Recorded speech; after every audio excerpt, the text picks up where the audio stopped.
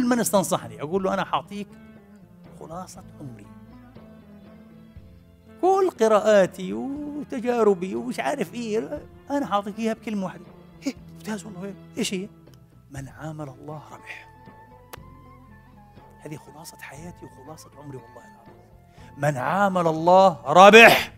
من عامل الله ربح. نقطة. انتهينا. خلي معاملتك وزي ما قلت لك عمل لك سوى لك أحسن لك أساء لك كذا. أنت خلي معاملتك بما يرضي الله. هو تصرف بهواه صح؟